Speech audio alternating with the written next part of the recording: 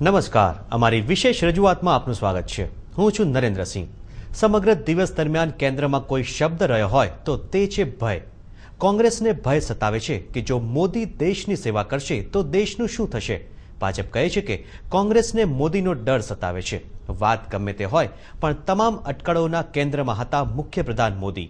સવાલ એ છે કે કોંગ્રેસને ખરેખર મોદીનો ભય સતાવે છે કે પછી ભાજપના મનમાં કંઈક જુદો જ ડર ચાલે છે? જોઈએ અમારી વિશેષ રજૂઆત, કોંગ્રેસનો ભય.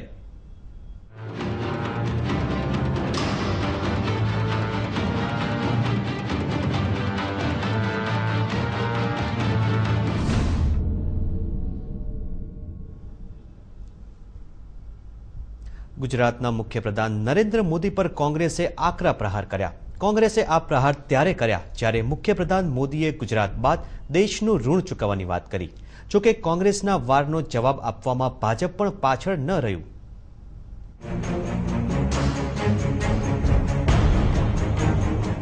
વાત થઈ દેશનું ઋણ ચૂકવવાની અને શરૂ થઈ ગયું વાકયુદ્ધ. વાકયુદ્ધ છેડાયું ભાજપ અને કોંગ્રેસ વચ્ચે. ગાંધીનગરમાં એક પુસ્તક વિમોચન પ્રસંગે બોલતા મુખ્યપ્રધાન મોદીએ વાત કરી ભારત માતાનું ઋણ ચૂકવવાની. જરા સાંભળો, શું કહ્યું હતું મોદીએ? इस देश का कोई बच्चा ऐसा नहीं है, कोई नागरिक ऐसा नहीं है, जिसको भारत माँ का कर्ज न हो।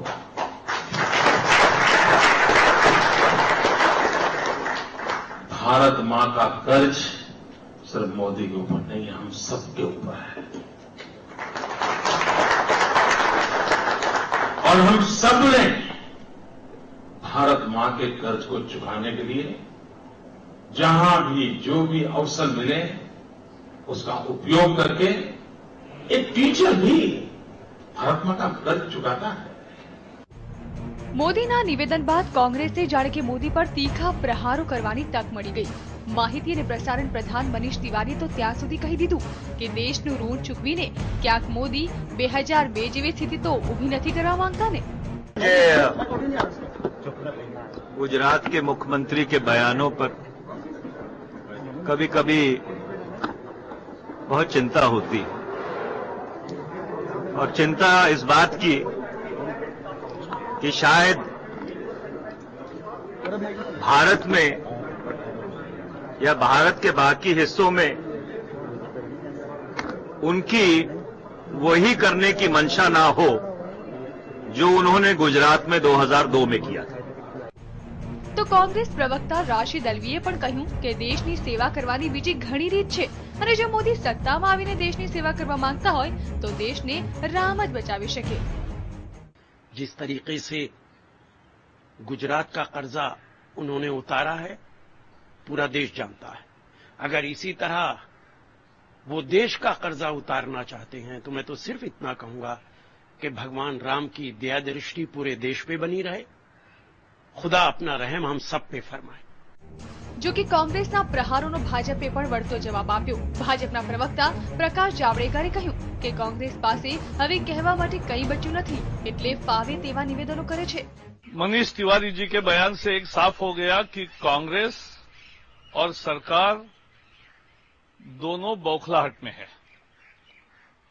और नरेंद्र मोदी जी ने जिस तरह से विकास की एक यात्रा शुरू की और उसको एक नतीजे तक पहुंचाया वो तो इनकी सरकार कर नहीं पाई अब इनके पास बताने के लिए कुछ नहीं है इसलिए मोदी पर अनर्गल हमले कर रहे हैं ભાજપે એમ પણ કહ્યું કે ગુજરાતના માધ્યમથી મોદી દેશનો વિકાસ કરવા માંગે છે અને મોદી ભારતને દંગામુક્ત કરવા માંગે છે मनीष जी, आप समझ लीजिए और कांग्रेस वालों समझ लीजिए कि ये दंगे फसाद की राजनीति में हमारा विश्वास नहीं है।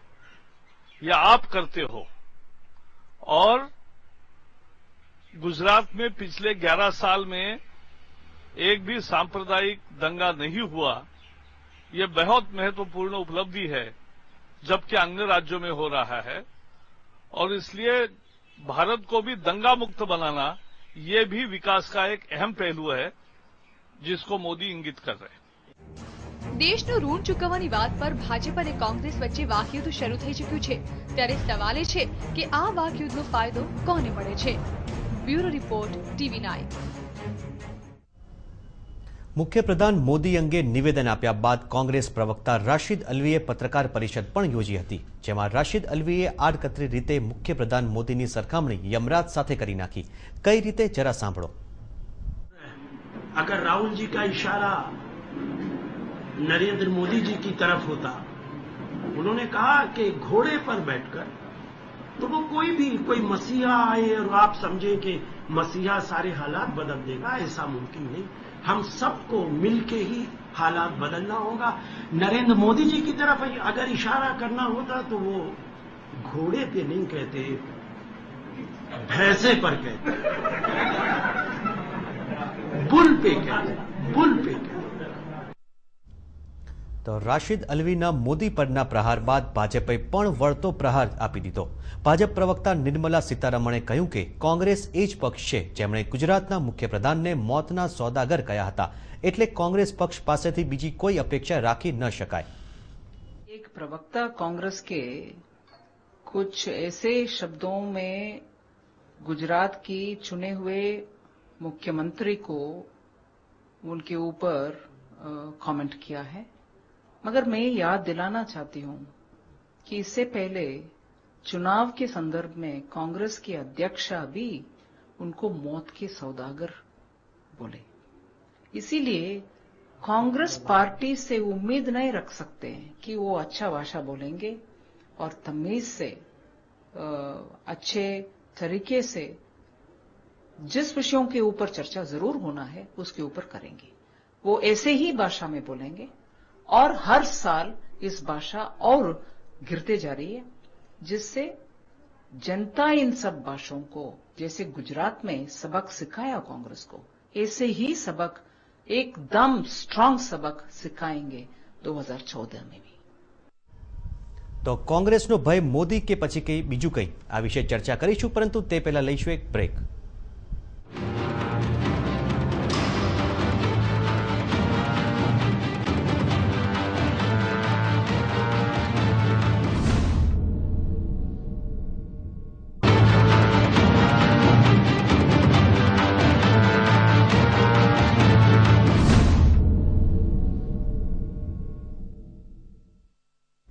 બ્રેક બાદ સ્વાગત છે.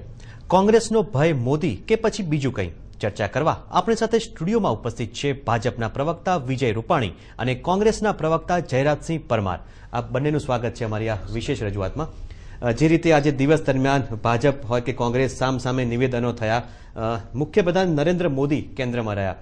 જયરાજસિંહભાઈ સૌથી પ્રથમ એ પૂછવા માંગીશ કે જે રીતે આજે નિવેદન આવ્યા આપના જ રાષ્ટ્રીય નેતાઓના મનીષ તિવારી હોય કે રશીદ અલવી હોય શું ખરેખર કોંગ્રેસને મોદીનો ભય લાગ્યો છે? આમાં ભયનો તો કોઈ સવાલ જ નથી. એટલા માટે કે જે મુખ્યમંત્રીશ્રીએ ઋણ ચૂકવવાની વાત કરી, તો આપણે ગામડામાં જન્મ્યા હોઈએ એટલે જે કંઈ નાની મોટી સેવા પોતાના કુટુંબ, કબીલો કે પરિવારથી કરીએ, એ સારા કામો કરીએ, એ દેશનું ઋણ જ ગણાય. અને હવે એવો કેવો અભરખો થયો છે કે દેશનું ઋણ ચૂકવવાની વાતો કરે છે. એક બાજુ વાઇબ્રન્ટમાં એવી વાતો કરે કે મેડ ઇન ગુજરાતને પ્રાંતવાદ એટલો ભડકાવાની વાત કરે. ગુજરાતમાં ચૂંટણી હોય તો પ્રાંતવાદની વાત કરવાની. પણ હવે એમને દિવસે પણ સ્વપ્નો વડાપ્રધાન થવાના આવે છે. એટલે એ સ્વપ્નો પૂરા કરવા માટે હવે દેશનું ઋણ ચૂકવવાનું છે. અને મુખ્ય વાત એ કે ગુજરાતનું તો એવું કયું ઋણ ચૂકવ્યું? આટલા બધા તોફાનો થયા બે હજાર બેમાં એમના વડાપ્રધાને પણ અહીંયા આવીને કહ્યું વાજપેયીજીએ કે રાજધર્મ નિભાવવો જોઈએ મુખ્યમંત્રીની ફરજમાં આવે છે. એટલે ખૂબ ટીકાઓ થઈ હતી. સુપ્રીમ કોર્ટ સુધી એની ટીકાઓ થઈ હતી. એટલે ગુજરાતનું તો ઋણ ચૂકવ્યું. હવે દેશમાં કયું ઋણ ચૂકવવા માંગે છે એ પણ એક સવાલ છે. વિજયભાઈ વાત છે ઋણ ચૂકવવાની. અને કોંગ્રેસે જે રીતે પ્રહારો શરૂ કર્યા છે શું કહેશો? નહીં નહીં કોંગ્રેસ ભડકી ગઈ છે. મોદીના નામથી કોંગ્રેસને ખૂબ તકલીફ છે. કારણ કે નરેન્દ્રભાઈની સમગ્ર દેશમાં લોકપ્રિયતા જે રીતની બની છે, એટલે કોંગ્રેસ રાહુલ ગાંધીને લઈને ચાલવા માંગે છે, પણ કાંઈ મેળ ખાતો નથી. સવાલ એ છે કે મનીષ તિવારીજીએ જે કીધું કે ગુજરાતમાં બે હજાર બેમાં જે દંગા થયા, એ પ્રકારે શું સમગ્ર દેશભરમાં ઋણ ચૂકવવા માંગે છે. તો મારે પણ એ કહેવું છે કે બે હજાર બેમાં ચોક્કસ ગુજરાતમાં દંગલ થયા. કોંગ્રેસ એની પહેલા શાસનમાં હતી, ત્યારે છાસવારે તોફાનો થતા હતા. એમ કહેવાય કે અમદાવાદમાં દર પંદર દિવસે એકાદ વખત કરફ્યુ સ્ટેબિંગ અને હુલ્લડો થતા હતા. વર્ષો સુધી ચાલ્યા. નરેન્દ્રભાઈ આવ્યા પછી જ આજે નરેન્દ્રભાઈનો એક દસકો પૂરો થઈ ગયો. બે હજાર બે પછી આજે બે હજાર તેરમાં આપણે બેઠા છીએ. એક પણ કોમી તોફાન ગુજરાતમાં એ પછી થયું નથી. કોઈ પણ બાબતના કોમી પ્રકારના ટેન્શનો થયા નથી કરફ્યુ લાગ્યા નથી સ્ટેબિંગ થયા નથી. સવાલ આ પ્રકારની વાત કરીને વોટ બેંકની રાજનીતિ મનીષ તિવારી કરવા માંગે છે. પરંતુ હું યાદ દેવડા માંગુ છું કે ભાઈ કોંગ્રેસે પણ ઓગણીસો ચોરાણુંમાં જે શીખોની જે કતલેઆમ થઈ ઓગણીસો ચોર્યાસીમાં શીખોની જે કતલેઆમ થઈ તો એ રીતે તમે શાસન ચલાવ્યું છે? એના જવાબ પણ હજી સુધી કોંગ્રેસ આપી નથી શકી. એટલે કે હું જયરાજસિંહ આપને સવાલ કરવા માંગીશ કે છેલ્લા અગિયાર વર્ષમાં જે રીતે વિજયભાઈએ કીધું કે અગિયાર વર્ષમાં કોઈ પણ રમખાણ થયા નથી ગુજરાતમાં એને કોંગ્રેસ વિકાસ માનશે કે કેમ? એના વિકાસ સાથે સંવાદ એટલા માટે નથી કે તોફાનો કરાવવાની કે ઉશ્કેરણીજનક વાતો કરવાની, ઉશ્કેરણીજનક ભાષણો કરવાની, ચૂંટણીઓ આવે એટલે જ માત્ર વિશ્વ હિન્દુ પરિષદની મિટિંગો ગોઠવાય કે બીજી બધી એમને ભૂતકાળમાં શું પ્રયોગો કરેલા આખું જગત, આખું ગુજરાત ને આખો દેશ જાણે છે કે સાધ્વી ઋતંબરાજી હોય, કે આચાર્ય ધર્મેન્દ્રજી હોય, એવા કેટલા એકલા ઝેર આપતા જે ભાષણો કરી અને જે ઉશ્કેરણીજનક પ્રવૃત્તિઓ કરી હતી, એ કોંગ્રેસ તો કરી જ ન શકે. કોંગ્રેસ તો સર્વધર્મ સંભાવની વાત કરે એટલે કોંગ્રેસ ઉશ્કેરણીજનક વાત ક્યારેય ન કરી શકે. એટલે આ તો જેવા ક્લાસમાં જેમ પેલા તોફાની છોકરો હોય અને એને આપણે મોનિટર બનાવીએ, તો સ્વાભાવિક છે કે ક્લાસ એકદમ શાંત રહે. એવો આ કેસ છે. આ એનાથી વિશેષ કશું નથી. એટલે ફક્ત ફક્ત એમ કે તોફાનો નથી થયા એવી વાત કરવી વ્યાજબી એટલા માટે નથી કે કોંગ્રેસ હર હંમેશ હકારાત્મક વાત કરવામાં માંગે છે. કોંગ્રેસ ક્યારેય ઉશ્કેરણીજનક વાત કરી અને તોફાનો થાય અને અરાજકતા ફેલાય. ભૂતકાળમાં તમે જુઓ કે કોંગ્રેસનું શાસન હતું, તો આજ અત્યારે ખેડૂતોના કેટલા પ્રશ્નો છે? અત્યારે ખેડૂતો માટે આ કાળો કાયદો લાવ્યા છે. તો કાપ, ઝાડ કાપી નાખો, રોડ ખોદી નાખો જાઓ વીજળીના થાંભલા તોડી નાખો, બસો સળગાવી દો. આ આવા કાર્યક્રમો કોંગ્રેસે વિરોધ પક્ષમાં હોવા છતાંય ક્યારેય આપ્યા નથી. ખેડૂતોને ક્યારેય ઉશ્કેર્યા નથી. એટલે ઉશ્કેરણીજનક વાત જ ન કરી શકે કોંગ્રેસ. એટલે તોફાનો થવાનો સવાલ જ નથી. કોંગ્રેસ હર હંમેશ પ્રજાના પ્રશ્નો લઈ કે ખેડૂતોના પ્રશ્નોને વાચા આપવા માટે નીકળે છે. પણ ઉશ્કેરણીજનક વાત કરી અને રાષ્ટ્રની સંપત્તિ કે સરકારી સંપત્તિઓનું નુકસાન કરો એવી કોઈ પ્રવૃત્તિ કરી નથી. મારે એ જ એ જ વાત આપના મુદ્દા સાથે આટલું જ મારે કહેવું છે. કે કોંગ્રેસે કોઈ દિવસ એવું નથી કર્યું કે બસો સળગાવી દો, બસો તોડી નાખો ઝાડ કાપી નાખો અને ભૂતકાળમાં આ જ લોકો, જે લોકો ઉશ્કેરતા હતા, એ જ લોકોએ તોફાનો કરાયેલા છે. એટલે કોંગ્રેસના શાસનમાં તોફાનો થાય એ સ્વાભાવિક જ બાબત છે. અત્યારે કોંગ્રેસ વિરોધ પક્ષમાં છે. પણ કોંગ્રેસ ઉશ્કેરણીની ભૂમિકામાં નથી. કોંગ્રેસ હર હંમેશ લોકોના પ્રશ્નોની ગાંધી ચિંધ્યા માર્ગે અને સારી રીતે કઈ રીતે રજૂઆત કરી શકાય એ લાઈનથી ચોક્કસ ઉશ્કેરણીની વાત કરી. જે રીતે રશીદ અલવીએ વિજયભાઈ કીધું છે કે જે રાહુલ ગાંધીના નિવેદન ઉપર ખાસ કરીને યમરાજ સાથે સરખામણી કરી કે જો મુખ્ય મુખ્યપ્રધાન ને જો રાહુલ ગાંધીએ જ જો કહેવું હતો ઘોડે સવાર નહીં. પરંતુ કોઈ યમરાજ એટલે કે ભેંસ ઉપર સવાર થઈને કોઈ આવ્યું હોત. એટલે કે એક પ્રકારની આડકતરી ઉશ્કેરણી ન કહી શકાય વિજયભાઈ. એટલે પહેલા પહેલા તો ઝેરાસિંહભાઈની વાતમાં વાત ડબલ આવે છે. એમને એમ કીધું દરેક ચૂંટણીમાં ભાજપ ઋતુંબરા દેવીજી આચાર્ય ધર્મેન્દ્ર અને તોફાનો કરાવે છે. છેલ્લી ગુજરાતની ત્રણ ચૂંટણી નરેન્દ્રભાઈની થઈ. એકેય તોફાન થયું નથી અને ત્રણે ત્રણ ચૂંટણી અમે જીતા છીએ. તોફાનની સાથે ચૂંટણીઓને વાતને કોઈ જોડવાની આવશ્યકતા નથી. નંબર બે કે કોંગ્રેસ ઉશ્કેરણીજનક કોઈ વસ્તુ નથી કરતી એ સાથે કોઈ સંમત એટલા માટે નથી કે કોંગ્રેસે છેલ્લા ગુજરાતમાં બાર વર્ષમાં નકારાત્મક જ રાજનીતિ કરી છે. અને કાયમ ઉશ્કેરીજનક પ્રયત્ન કર્યા છે. દરેક વસ્તુમાં કોંગ્રેસે નકારાત્મક વિરોધ કર્યો છે, પરંતુ પ્રજા કોંગ્રેસને ઓળખી ગઈ છે અને એને કારણે કોંગ્રેસની વાત પ્રજામાં ટકતી નથી, આંદોલનો થતા નથી. નરેન્દ્રભાઈને વિકાસની વાતને એટલા માટે સ્વીકારવી પડે કે જ્યાં શાંતિ હોય, સલામતી હોય, ત્યાં જ વિકાસ હોય છે. એટલે બાર વર્ષના શાસનમાં જે શાંતિ છે, એને કારણે જ વિકાસ શક્ય બન્યો છે અને એને જ કારણે ગુજરાત આગળ વધ્યું છે. કોંગ્રેસના શાસનમાં શાંતિઓ હતી નહીં વિકાસ થઈ શક્યો નહોતો અને સ્થિતિ બહુ ખરાબ હતી, એ સ્થિતિ સુધરી છે. આજે દેશભરમાં આપણે જોઈએ, હવે આસામમાં કોમી તોફાનો ચાલે છે. ને કોનું શાસન છે? અને આસામમાં જે રીતે હાલત થઈ છે, તો એની જવાબદારી કોની? અને અહીંયા ગુજરાતની વાત કરવાની, આસામની વાતનો ચર્ચા જ નહીં કરવાની. કાશ્મીરમાં જે રીતે હિન્દુઓએ હિજરત કરવી પડી છે, કોની જવાબદારી? કોનું શાસન છે ત્યાં આગળ? દિલ્હીમાં શીખોએ હિજરત કરવી પડી, કોનું શાસન હતું ને કોની જવાબદારી હતી? તો આ બધા પ્રશ્નોમાં કોંગ્રેસ ક્યાંય દૂધે ધોયેલી નથી. કોંગ્રેસે વોટ બેંકની જ રાજનીતિ કરી છે અને હજુ પણ વોટ બેંકની રાજનીતિ કરવા મોદી સામે આ જ શસ્ત્ર ઉગામીને મુસલમાનોને ઉશ્કરવાનો પ્રયત્ન છે. વોટ બેંકની રાજનીતિની વાત છે જયરાજસિંહ. શું કહેશો કે કોંગ્રેસ હજુ પણ વોટ બેંકની રાજનીતિમાંથી અને મોદી સામે તે શસ્ત્ર અપનાવવા માંગે છે કે કેમ? એમણે જે આક્ષેપ કર્યો કે ચોરાસીના શીખોના કોમી હુલડો થયા હતા તો મારે એ કહેવું છે કે કોંગ્રેસે તો શીખ સમુદાયમાંથી વડાપ્રધાન દેશને આપ્યા છે. ભૂતકાળમાં રાષ્ટ્રપતિ પણ આપ્યા હતા. એ જ તોફાનો પછી પંજાબમાં દસ વર્ષ સુધી કોંગ્રેસે જનમત લઈ જનાધાર કેળવી અને પછી ચૂંટણી જીતી કોંગ્રેસની સરકાર બનાવી હતી. એટલે આ ફક્ત વાહિયાત વાત કરે છે. અને એટલા માટે કહેવા માંગુ છું એના પછી ત્રણ વખત સરકાર આવી છે વિજયભાઈ. વખત તો અમે જનમત લઈ લીધો. જનમત બનાવ પછી ત્રણ વખત અમે જનમત લઈ લીધો. તો એ વાત નહીં. એ જ મુદ્દાઓની ચર્ચાઓ ગુજરાતની પ્રજાએ તો કરી લીધી. પંજાબમાં તમે કયો છો ગુજરાતમાં નહીં. એટલે તમે વાત કરો છો કે ઉશ્કેરણીજનક વાત. ઉશ્કેરણીજનક તો કોંગ્રેસ ઉશ્કેરણીજનક કોંગ્રેસ તો કાર્યક્રમ જ ના હોય યાદ મતલબ શું તો પણ એટલા માટે કે તમે જો લેવાઈ ગયો. ચોરાસી ની વાત કરી તો ચોરાસી માં બહુ સ્પષ્ટ રીતે આપણો કેપ્ટન અમરિંદર સિંહ પંજાબના વડાપ્રધાન થયા જ હતા અને આ દેશના વડાપ્રધાન પણ શીખ છે. એ બરોબર એમને સમજવું જોઈએ શીખ સમુદાયમાંથી જ આવે છે. એટલે કોઈ સવાલ જ નથી આક્ષેપો ખોટા કરે છે. અને બીજી વાત કે જ્યારે જ્યારે બે વિકાસની વાત આવે ત્યારે એક વાત સ્પષ્ટ કહું. કે વિકાસ એટલે શું? તમે એક વાત તો બતાવો, હું તમને વિકાસની એક સો વસ્તુ બોલું વિજયભાઈ એક વસ્તુ તમે બોલી બતાવો. તો તમને જાહેરમાં તમને પગે લાગી તમારા પગ આગળ અમે શ્રીફળ વધી રહીશું તમારા મુખ્યમંત્રી શ્રીફળ વધી રહીશું એક વાત તો બતાવો. હું તમને સો વસ્તુ બતાવું. તમે કોઈ નદી ઉપર તમે બાંધ બાંધ્યો હોય તો બતાવો. કોઈ નદી ઉપર તમે બ્રિજ બાંધ્યો હોય તો બતાવો. કોઈ ક્રિકેટના સ્ટેડિયમ બનાવ્યા હોય તો તમે બતાવો. કોઈ ખાતરનું કારખાનું નાખ્યું હોય તો બતાવો. હું તમને સો વસ્તુ આ આઈઆઈએમ તમે છો તો આઈઆઈએમ ભારતીય જનતા બે હજાર એક પછી નંખાઈ છે. ભારતીય જનતા પાર્ટીના શાસન વખતે કહી છે? ઈસરો હોય કે પીઆરએલ હોય કે અવકાશના કાર્યક્રમો હોય કે કેટલા અસંખ્ય ગણી ન શકાય એમના ચોપડા અને પુસ્તકો ટૂંકા પડે એટલા કોંગ્રેસે વિકાસ કર્યો છે. અને કોંગ્રેસની વિકાસની આજે જે આજે પણ આપણે જે લાઈવ આ સ્ટુડિયોમાંથી જોઈ રહ્યા છીએ એ કોંગ્રેસની જ દેન છે. શ્યામ પિત્રોડાજી રાજીવ ગાંધીના જ સલાહકાર હતા.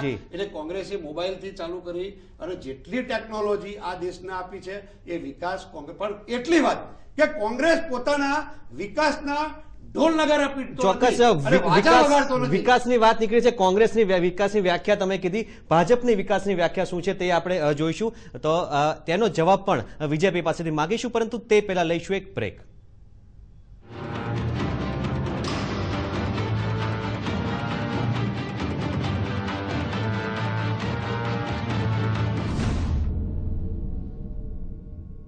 છે અમારી આ વિશેષ રજૂઆતમાં. જયરાજસિંહ, જે રીતે આપણે વિકાસની વાત કરી કે ભાજપે વિકાસ કયો, ક્યાં ક્યાં કર્યો કરી બતાવો. વિજયભાઈ, શું કહેશો? ભાજપની વિકાસની વ્યાખ્યા શું છે? નહીં હું તો ખાલી એટલું જ કહેવા માગું છું. ગુજરાતમાં કોંગ્રેસે ઓછામાં ઓછું ચાલીસ વર્ષ રાજ કર્યું. નરેન્દ્રભાઈ જેથી સત્તાના સૂત્રો સંભાળ્યા, ત્યારે ગામડાના ખેડૂતો આવીને એટલું જ કીધું હતું કે, સાહેબ, બીજું કાંઈ ન કરો તો કાંઈ નહીં. પણ ચાલીસ વર્ષ ત્યાં વાળું કરવા બેસીએ અને લાઇટ વહી જાય છે. અમારે ગામડામાં લાઇટ નથી. તમે અમને લાઇટ આપો. નરેન્દ્રભાઈએ આખી જીઈબીની કાયા પલટ કરી નાખી કે જે જીઈબી ખોટમાં હતું અને બંધ થઈ જવાનું હતું. અને એ આજે દેશમાં બીજા બધા રાજ્યો કરતાં આપણી સ્થિતિ સારી છે, ચોવીસ કલાક લાઇટ છે. ગામડાઓને ચોવીસ કલાક લાઇટ આપી. વાળું વખતે લાઇટ ન જાય. બેનો પણ સાસ બી કભી બહુથી જોવે. ત્યાં આગળ બેઠા બેઠા ટીવી નાઇન જોવે. આ સ્થિતિ કોંગ્રેસના શાસનમાં નહોતી, ભાજપે કરી. અને વિકાસ ન કહેવાય. આજ સૌરાષ્ટ્રમાં અમે લોકો દર ઉનાળે પાણી માટે તરફડતા હતા. આ વખતે પણ આટલો મોટો દુકાળ પડ્યો છે. છતાં પણ આ નર્મદા કોંગ્રેસ વખતે હતી. ચાલીસ વર્ષ ત્યાં કોંગ્રેસ વખતે નર્મદા હલવાયેલી પડી હતી. એ નર્મદા હલવાયેલી અમે બહાર કાઢી અને આજે સૌરાષ્ટ્રના ગામડે ગામડે પાણી પહોંચ્યા. એને કારણે આ દુષ્કાળમાંથી આપણે હવે પચાસ જ દિવસ કાઢવાના બાકી છે. અને આપણે મોટાભાગનો સમય કાઢી બચાવ્યો છે. લગભગ એક લાખ સવા લાખથી ચેક ડેમ, વધુ ડેમો બનાવ્યા આપણે. એ વિકાસ નથી. હું તમને કહું, આ મનમોહનસિંહજી હું તો રાજ્યસભામાં સાંભળી સાંભળીને થાકી ગયો કે ભાઈ ત્રણ ટકા જીડીપી એગ્રીકલ્ચર કરવો છે. એકેય વખત થયો ને અઢી ટકાથી આગળ વધે નહીં. અને ગુજરાતમાં અગિયાર ટકા એગ્રીકલ્ચર જીડીપી કે જે કપાસની ઘાસડીઓ, વીસ લાખ ઘાસડીઓ દર વર્ષે પાકતી હતી. વીસ લાખ ઘાસડીઓ બનતી હતી. એને બદલે સવા કરોડ ઘાસડીઓ કપાસની આટલી બની. ખેડૂતોનો વિકાસ થયો. આ વિકાસ નથી. હવે તો કંઈક વસ્તુ છે. હું ગણાવી ગણાવીને થાકી જાય ચોપડાઓ ભરાઈ જાય. એવી સ્થિતિ કરી છે. એને કારણે નરેન્દ્રભાઈ વિકાસ પુરુષ તરીકે લોકપ્રિયતા છે. બીજું હું કહું, જયરાજભાઈ કે કોંગ્રેસ કે ભાજપ કે એના કરતાં દરેક ચૂંટણીમાં મોદીને હરાવી ન શકી કોંગ્રેસ. એનું કારણ છે વિકાસ. અને એ વાતને તો હજી ન સ્વીકારવામાં આવે તો પછી દલીલ કરવાનો કોઈ મતલબ નથી અમારે. જી. જરાસી જે રીતે એમણે વિકાસની વ્યાખ્યા આપી તમે વિકાસની વ્યાખ્યા આપી બંને અલગ અલગ ચોક્કસ છે. પરંતુ જે રીતે કોંગ્રેસ જે રીતે મુખ્યપ્રધાને જે નિવેદનો કર્યા અને તેની સામે કોંગ્રેસ જે પ્રકારની સામે પ્રહારો શરૂ થયા છે રાષ્ટ્રીય નેતાઓના અને ખાસ કરીને વાત છે ઋણ ચૂકવવાની તો તેને કોંગ્રેસ કઈ રીતે જોઈ રહી છે? શું એમને ઋણ ચૂકવવું છે એ મને સમજાવો. જે રીતે ગુજરાતમાં ઋણ ચૂકવ ઋણ ચૂકવ્યું શું ચૂકવ્યું ઋણ? ઋણ ઉપરથી દેવાદાર કર્યા જ્યારે કોંગ્રેસનું શાસન હતું, જ્યારે એમને સત્તાના સૂત્રો સંભાળ્યા, ત્યારે જે સ્થિતિ હતી, એના આંકડા આપો. આ તો હંમેશા જુઠ્ઠું બોલવું, જોરથી બોલવું, વારંવાર બોલવું, આ ભારતીય જનતા પાર્ટીનો બિલકુલ પાયાનો મંત્ર છે. અને દરેક કાર્યકર્તાઓને આની ટ્રેનિંગ આપવામાં આવે છે કે એકના એક જૂઠ સો વાર બોલીએ તો સાચું થઈ જાય. મહાત્મા ગાંધીજીએ કહ્યું હતું કે બહુમતીથી આવેલો નિર્ણય કંઈ સાચો જ હોય એવું માની નહીં લેવાનું. ઓગણીસો ને ઓગણચાલીસના યુદ્ધ વખતે પણ તમને કહું કે એડોલ્ફ હિટલરનો, એ જ હિટલરનો ફોટો પણ ટાઈમ મેગેઝિનમાં પહેલાં જ પાને છપાયો હતો અને એમને પારિતોષિક માટે પણ એમનું નોમિનેશન થયું હતું અને એટી નાઇન પર્સન્ટ વોટથી હિટલર જર્મનીમાં ચૂંટાતા હતા. આમાં કોઈ સરખામણીનો સવાલ નથી. વાત સમજજો.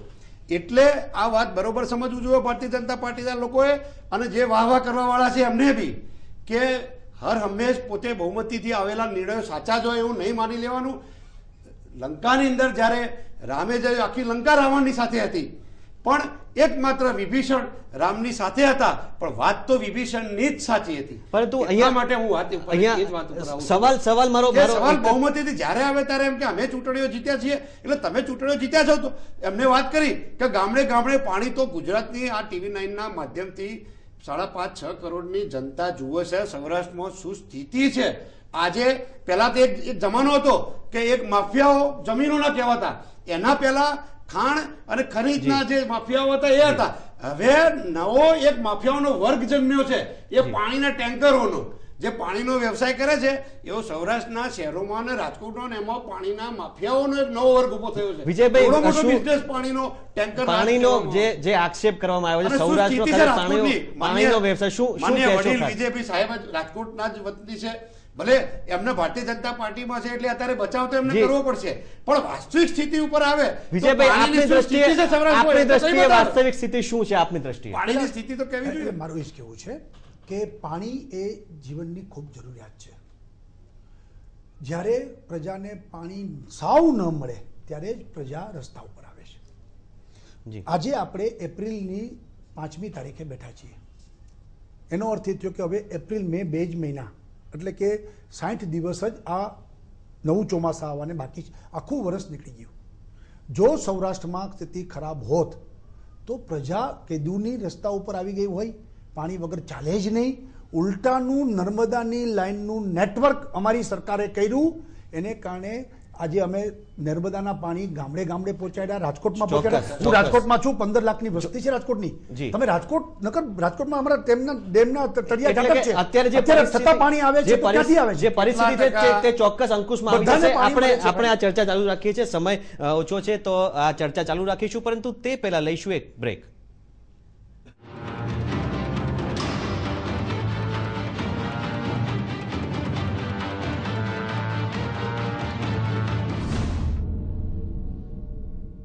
તો બ્રેક બાદ ફરી એકવાર સ્વાગત છે અમારી આ વિશેષ રજૂઆતમાં બિહાર ભાજપના નેતા ગિરિરાજસિંહે કહ્યું કે જો મોદીને તક મળશે તો તે ચોક્કસ દેશનું ઋણ ઉતારી દેશે જ્યારે જેડીયુએ જણાવ્યું કે ગુજરાતની સેવા એ જ દેશની સેવા બરાબર છે जी ने नहीं कहा कि देश का कर्ज उतारना है गुजरात का कर्ज उतार लिया वहां वक्ताओं ने कहा कि नरेंद्र मोदी जी आपने गुजरात का कर्ज उतार दिया अब देश का कर्ज उतारना। ये कौन बड़ी बात है? जब मौका मिलेगा तो उनके पास एक विजन है और उन्होंने कहा कि हर नागरिक का कर्तव्य है देश का कर्ज उतारना, केवल कांग्रेस को छोड़ करके। तो अब वो उतारेंगे कर्ज को? अब पता नहीं, गुजरात की सेवा देश की सेवा से अलग है, ऐसा तो हमको नहीं लगता। है अब नीतीश कुमार बिहार की सेवा कर रहे हैं तो बिहार के ज़रिए वो देश की सेवा कर रहे हैं। इसलिए कोई भी अपने प्रदेश की सेवा कर रहा है या अपने गांव की भी सेवा कर रहा है तो उसके जरिए देश की ही सेवा करता है अब ये अ, इस डायलॉग का क्या मतलब है हम नहीं समझ पाए અ, જે રીતે જેડીયુના નેતાએ વિજયભાઈ જણાવ્યું કે ગુજરાતની સેવા એ દેશની સેવા બરાબર જ છે શું કહેશો ના ચોક્કસ એ વાતમાં હું સમજ છું કે ગામ એક નાના ગામની સેવા કરે એ પણ દેશની સેવા છે ગુજરાતની સેવા એ દેશની સેવા છે અને ભવિષ્યમાં સમગ્ર દેશની સેવા કરવાની વાતમાં પણ ખોટું નથી મારો વાંધો માત્ર મનીષ તિવારીજીએ કીધું કે બે હજાર બેના દંગાઓથી દેશની સેવા કરવા માગો છો એની સામે જ મારો વાંધો છે કે એમને કેમ કમરો હોય ને પીળું દેખાય ને પીળું દેખાય છે?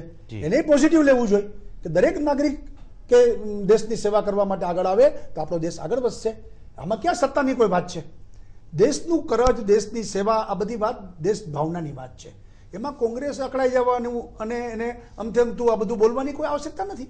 દેશનું ઋણ ચૂકવવાની વાત છે. જયરાજસિંહ ખાસ કરીને કોઈ એમાં મુખ્ય પ્રધાને કોઈ પણ નામ દીધું નથી કે પીએમ બનવાની કોઈ સ્પષ્ટ વાત કરી નથી તો પછી કોંગ્રેસનો ઉહાપો કેમ આટલો બધો? કોંગ્રેસે ઉહાપો એટલા માટે કર્યો કે એમને નિવેદન કર્યું છે એનો માત્ર જવાબ આપ્યો છે. એમાં કોઈ કોંગ્રેસનો તો કોઈ ફરક નથી પડતો. એટલા માટે કે કોંગ્રેસની લડાઈ ભારતીય જનતા પાર્ટી સાથે છે જ નહીં. ભલે ભાજપવાળા ગમે તેવા સ્વપ્નોની સાથે હોય એટલા માટે નથી કે દેશના તમને તમે ચૌદ રાજ્યોમાં તો ભાજપની સામે કોંગ્રેસની લડાઈ જ નથી. કાશ્મીરમાં શું ભાજપ સામે લડાઈ છે? મને વાત સમજાવો. પંજાબની અંદર ભાજપ સામે લડાઈ છે?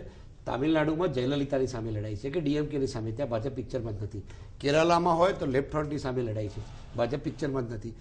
અડધા દેશમાં ભાજપને કોઈ ઓળખતું જ નથી. આ તો ફક્ત ને ફક્ત એક ગિમિક્સ મુખ્યમંત્રીશ્રીએ એમના પક્ષમાં સર્વાઈવ થવા માટેની આ આખી બાજી ગોઠવી છે. પરંતુ સવાલ પણ કરી દો ને જાહેર. એનડીએ એમને વડાપ્રધાનના ઉમેદવાર જાહેર કરતા નથી. સવાલ ભાજપ જાહેર કરતું નથી. તો તમે કઈ રીતે વડાપ્રધાન થવા માંગો છો? અને ચલો એનો વાંધો નથી. એ તો યુનોના પ્રમુખે બનાવી દે તો એમનો વાંધો નથી. ભલે બનાવી દે. યુનાઇટેડ સંઘના પ્રમુખે પણ મારી વાત એટલી કે એમને સ્ટેટિસ્ટિકમાં કોઈ ગણિત તો બેસવું જોઈએ ને જયરાજસિંહ સવાલ સવાલ મારો માત્ર એક જ છે એક મિનિટ. અમારું સ્ટેટિસ્ટિક જે હોય. જી. અમે અમારા વડાપ્રધાન બનાવવા માંગીએ છીએ અમારી પાર્ટી બને તો. કોંગ્રેસને ચૂકશે નહીં આવે છે. અમને ક્યાં ચૂક આવે છે? તો પછી આ બધું મોદી વિરુદ્ધ આ- બધા છે. હાથકંડા છે. એક બાજુ તમે વિચાર કરો એમને વડાપ્રધાન થવાની વિચાર કરો કે પાંચ રાજકોટની અંદર તમારા પોતાના હોમ ટાઉનમાં પાંચ લોકો જીવતા સળગી જાય એની સંવેદના વ્યક્ત કરવાની મુખ્યમંત્રી શ્રીને ટાઈમ નથી. એક બાજુ સરસ રૂપાળા એક તરફ માઇક્રોફોન ઉપર સારી સારી એક સારું ઓરેટરી આવડે એટલે તમે સારા સારા ભાષણો કરો. સંવેદનાને એમને રાજકોટની મુલાકાત લીધી છે. દિલ્હીમાં નરેન્દ્રભાઈ દિલ્હીમાં એક દીકરી ઉપર દુર્ઘટના બની હતી અને બળાત્કારની ઘટના થઈ હતી. વિમાનની અંદર સ્પેશિયલ એર એમ્બ્યુલન્સ દ્વારા ગયા નથી ગયા. એમ- એર એમ્બ્યુલન્સ દ્વારા નથી ગયા. એર એમ્બ્યુલન્સ દ્વારા એમને સિંગાપુર સુધી લઈ જઈ. અને છેલ્લામાં છેલ્લી કક્ષાની ભારત સરકારે ટ્રીટમેન્ટ આપી હતી. ચોક્કસ, એમને પૂછો એ- એ વાત- આજે એ દર્દીઓ વાત છે ચોક્કસ, પરંતુ જે રીતે- લોબીની અંદર એમને એ વાત ચોક્કસ- એ- નથી. તો આ સંવેદના છે તો આ ઋણ ચૂકવી રહ્યા છે એ- વાત. અલગ છે આડે પરંતુ જાય છે. પરંતુ પરંતુ એ વાત થોડી અલગ છે પરંતુ એક વાત એક સવાલ હું એ પૂછવા માંગુ છું કે જે રીતે રશીદ અલવીએ આડકતરી રીતે મોદીને યમરાજ કીધા. અગાઉ બે હજાર સાતમાં કોંગ્રેસે જ એક શબ્દ આવી ગયો હતો મોતના સોદાગર. અને આગામી ચૂંટણીમાં આવા નિવેદનથી કદાચ ફૂલટોસ સાબિત નહીં થાય કોંગ્રેસ કોઈ અમે કોઈ બીતા જ નથી ચૂંટણીમાં એક વાત બરાબર સમજી લેવાની કે પહેલા તો યમરાજ એટલા બધા નથી કીધા. એમને એવું બહુ સ્પષ્ટ અને બહુ સાચું રશીદ અલવીજીએ કહ્યું છે. રશીદ અલીજીએ એવું કહ્યું છે કે કોઈ ચંદ્ર ઉપરથી આવીને કોઈ એવું એવો રાતોરાત ચમત્કાર થવાનો નથી કે જાદુની છડી આમ લાકડી આખી ફેરવી અને ગુજરાતનું જબરજસ્ત હિત થઈ જશે અને આખા દેશનું હિત થઈ જશે એવી કોઈ વાત નથી. એસે એસે પર કોઈ આવેગા નહીં કે એમ વાત આવા નિવેદનથી એના- ભાજપને આને ફાયદો તોડી થાય એમ મોડી માનો છો? ભાજપને ફાયદો થાય તેમ માનો છો? નરેન્દ્રભાઈ જ્યારથી મુખ્યમંત્રી બન્યા ત્યારથી ડિક્શનરીમાં એક પણ શબ્દ ખરાબ કોંગ્રેસે બાકી જ નથી રાખ્યો. બધું કહેવાઈ ગયું છે નરેન્દ્રભાઈ માટે. અને છતાં ઓલું કહે છે ને કે જેમ પથ્થરો એના ઉપર ફેંકતા ગયા પથ્થરો ભેગા થતા ગયા અને પગથિયા બનતા ગયા અને નરેન્દ્રભાઈ ઉપર ચડતા ગયા છે. હજી પણ દેશની પ્રજામાં આ પ્રકારની વાત લોકોને ગમતી જ નથી. વાત મુદ્દાની થાય, વાત જે કરેલું છે એની ચર્ચા થાય. આજે પાંચ વર્ષમાં યુપીએ જે સ્થિતિ દેશની કરી છે, એ ચર્ચા કરે તો યુપીએ કોઈ જવાબ આપી શકે એમ નથી. સામે ગુજરાતમાં આપણે કર્યું છે, પ્રજાએ આપણે ખોબે ખોબે મત આપ્યા છે. આવનારી ચૂંટણીમાં લોકો આ જ વાત માગવાના છે. ડિફરન્સીસ અને એવી વખતે હું સ્પષ્ટ માનું છું કે નરેન્દ્રભાઈને ગાળું દેવાથી કોંગ્રેસ કાંઈ કાંદો કાઢી નથી લેવાની. આમાંથી અને સ્થિતિ એ થશે કે જેટલું નાખે જેટલા પગથિયા નરેન્દ્રભાઈ ચડતા જાય છે. હું એમ માનું છું કે આ બધી વાતોથી નરેન્દ્રભાઈને લાભ જ છે. એટલે કે રાહુલ ગાંધી સામે જે રીતે મોદી જે રીતે ઉભરી રહ્યા છે પીએમ પદ માટે કોંગ્રેસ તેને અટકાવવા માટેના આ પ્રયાસો શરૂ કર્યા તેમ કહી શકાય? એટલા માટે છે. નરે- નરે- કર્ણાટકની ચૂંટણી માથા ઉપર છે. નરેન્દ્રભાઈ જાય ને એમને જેટલા જાદુઈ પ્રવચનો કરવા હોય જાદુ છડી લઈને ઘોડેસવાર થઈ અને જાય કર્ણાટક આમાં આઠ તારીખે એટલે ખબર છે આવવાનું કે કર્ણાટકની સ્થિતિ જુદી છે એટલે કર્ણાટક છે. છે. છે રાજસ્થાનમાં આવે છે. રાજસ્થાનમાં શું થવાનું છે? જોજો ખરા, એ તો ભૂપકા બોલી જવાના છે. હમણાં જ થઈ છે. નરેન્દ્રભાઈ હમણાં જ થઈ છે ઉત્તરાખંડની ચૂંટણી. એમની જોડે પાંચ શાસન હતા એ ગુમાઈ ચૂક્યા છે હિમાચલ પ્રદેશ તો ગુમાઈ ચૂક્યા છે. કર્ણાટક તો જવાની તૈયારીમાં છે. એટલે માત્ર જો સારી સારી સીટો ઉપર શહેરોની બે ચાર સિલેક્ટેડ સારી ભારતીય જનતા પાર્ટીના પ્રભુત્વ વાળી સીટો ઉપર જઈ અને પ્રચાર કરવાનો અને પછી અહીંયા છાપાઓમાં મીડિયામાં બરોબર મેનેજ કરી અને કહી દેવાનું કે આટલી આટલી ભાજપે ભાજપે કોંગ્રેસ કોનું પાણી એ તો ચૂંટણીમાં પેટા ચૂંટણી આવે કે પછી અન્ય જે રાજ્યો. તેમાં ખ્યાલ આવી જ જવાનો છે. આ કર્ણાટકની ચૂંટણીમાં આવી જવાનો છે. હજી આ ગુજરાતમાં ખ્યાલ આવ્યા પછી પણ કોંગ્રેસની ભાષા સુધરી નથી. એટલા માટે નહીં નથી. એટલા માટે કે હજી નથી. હવે હોઈ શકે નહીં. કેવા કેવા લોકો જીત્યા છે આખા ગુજરાતે લોકશાહીમાં જીતા હો સિકંદર. અને તમારે ત્યાં એ અડધાના નામ બોલવા જેવા નથી. સવાલ આ બધું નથી. મતદાનમાં મત ગણાય છે કોણ જીતું છે કેની સરકાર. કર્ણાટકમાં મત નહીં ગણવાના. કર્ણાટકમાં નહીં ગુજરાતમાં ગણીશું. કર્ણાટકમાં પરિણામ નબળું આવશે તો અમે કહેશું ભાઈ અમારી અમારી કચાસ છે. તમે તમારી કચાસ તો સ્વીકારો ગુજરાતમાં. અમે એટલું જ કહીએ છીએ તમને કે ગુજરાતના પરિણામો આવી ગયા પછી કોંગ્રેસ સ્વીકારતી નથી કે અમે હાર્યા છીએ. અરે તમારા ભગવાન સાહેબ હારી ગયા શક્તિસિંહ હારી ગયા સિદ્ધાર્થ હારી ગયા કલ્પના તો કરો જયરાજસિંહ, આ- તમારે એમને એમને કીધું મોઢવાડિયાજી હારી ગયા છે તમારા પ્રદેશ પ્રમુખ આરસી ફળદુજી નથી હાર્યા? તમારા જનરલ વ્યાસ નથી હાર્યા તમારે કેટલા કેબિનેટ મિનિસ્ટર. છે? ટૂંકમાં આ લોકશાહીમાં હાજી તો થવાનો છે.